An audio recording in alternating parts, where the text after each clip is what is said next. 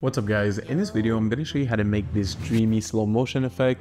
It's an effect that I've been keeping for a while, but you know we don't do gatekeeping on this channel, so I'm to spill all the sauce. So make sure to stick around until the end, that way you can add that super cool effect to your arsenal. Also before we start, if you've been thinking of getting my all-in-one bundle where you can get all of my editing packs, my future packs, there is no much better time to get it than now. Because on October 1st, I'm to be increasing the price, so make sure to check it out down below. It is the best offer that I have on my website by far, probably that I will ever have. So make sure to take advantage of that. With that said, let's get right into this tutorial. All right, so we have this Young Faisal music video pulled up. So the first thing we need to do is slow all of this down. And the effect that I love the most when it comes to slowing down music videos is the time warp effect. So let's slap it on or layer right here.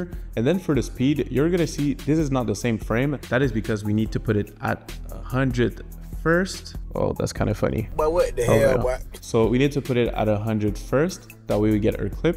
And we're gonna keyframe it, click on speed on the stopwatch, and then let's go a few frames further, maybe like right there, and we're gonna make it eight. That way we're gonna have this. So as you can see, you get this super cool slow motion right here. So I might make it like maybe something like 15. And now we're gonna have this right here. So what we need to do is we're gonna go to CC cross blur, and that's gonna allow us to have that really cool blur that we have within the effect. And we're gonna use solely the radius X. And as you can see you get this super cool like dreamy effect. So at the beginning we're also gonna keyframe it from uh, like the radius X.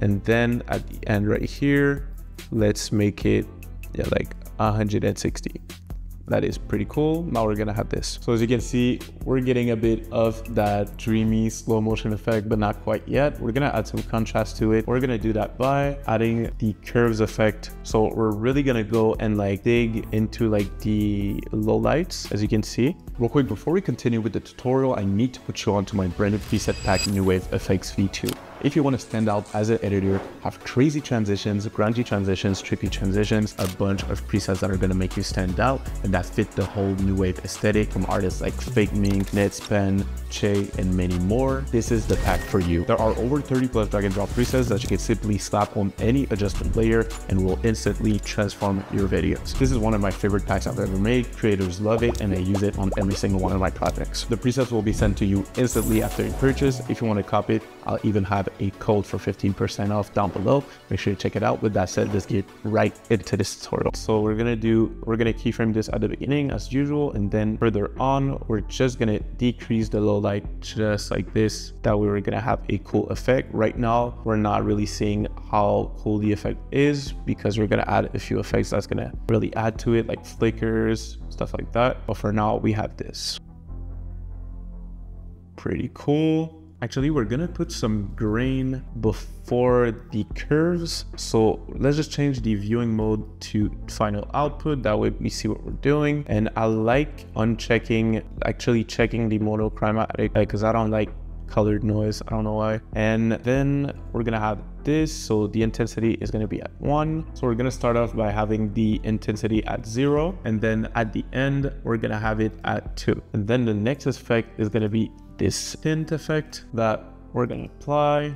So you're you're gonna see like how this works. So so basically i do like at the beginning there's like no effect like the initial effect and then we jump into like this super cool effect that we're gonna have. So there i put the amount at 100 now let's look at what we have. Now we have this super cool like black and white effect. Now let's add on to it. Then we're gonna do like a flicker effect. So i'm gonna use the exposure effect. I gotta make this like a preset or something because I keep doing it every time. We're gonna put it after the curves effect and then we're gonna do alt click. We're gonna do wiggle. So eight times per second and then let's do two. That, two is usually a lot in intensity. So let's see what that looks like.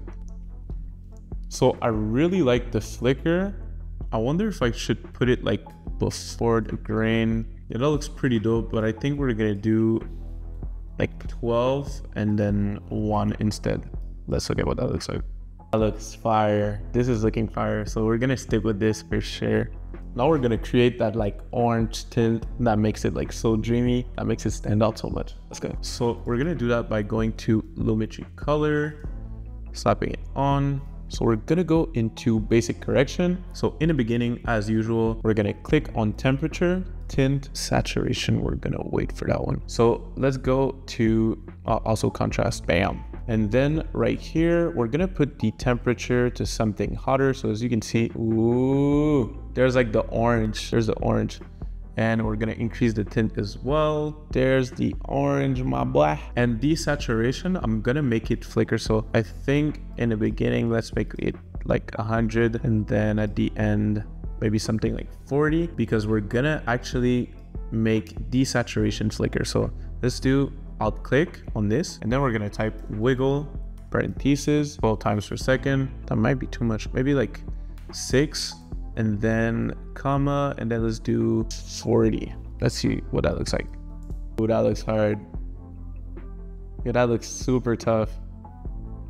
But I think I might do like 12 and then maybe like crank it up like 60. Let's see what that looks like. So that's what I like the most, to be honest. Like the fact that you get like sometimes it's black and white, sometimes it's orange. I might like crank that up honestly because I really like I want to see the contrast. Like I want I want it to be like black and white sometimes, sometimes like really orange. That's the look we're aiming for. So yeah, that looks pretty cool. Yeah, that's fire. That's super fire. Now, I love the way this looks, but I'm always a fan of giving like your looks a bit of like that vintage feel. So we want a choppy effect. Like this is like too smooth right now. So let me show you how to do that. We're gonna go and type Posterize Time and we're gonna put it before the exposure. I'm sorry, like I didn't do everything in order. Like, I don't know, I'm just letting my mind be creative and give me like some fire effects. So we're gonna make the frame rate eight there we go. Let's see what that looks like. Now you really get like that vintage, I don't know, that looks so fire to me. Like it's really like that dreamy slow motion vibe. I think the last thing we're gonna add is a vignette. So we're gonna animate a vignette. So at the beginning, we're gonna make the amount zero. We wanna make sure that the center is at his face because that's where we wanna focus. And then at the end, let's increase that bad boy up. Sometimes this looks good, like pin highlights in this case, I don't know if I'm really rocking with it. Let's see what that looks like. Sheesh. That looks so clean. That looks so fire. By the way, this effect that I just showed you, we did it from scratch together. If next time you don't feel like doing it from scratch every single time, it's actually a preset out of my New Wave FX V2 presets. We have all of them there as you can see. So basically it's 30 plus drag and drop presets that fit like the New Wave aesthetic that you're gonna see from like the emerging artists, the really fire editors. So for example, if I remove this, bam, I could just slap Dreamiest Slow-Mo and then bam, we have this super sick effect right here. So like Wave FX V2 comes with so many like, let's say for example, like transitions, like you can get, you want grungy presets, you want trippy presets, like huge variety of presets. Like for example, you got like transitions here, like swipe flash, for example, all you gotta do is drag and drop it. You have this sick transition. We could do another just layer, add insane red hit to go into the next one. Boom, you get this sick shake right here. So I use it on all of my projects. They're super fire. If you want to check them out, half and double. Now with that said, let's look at our final result.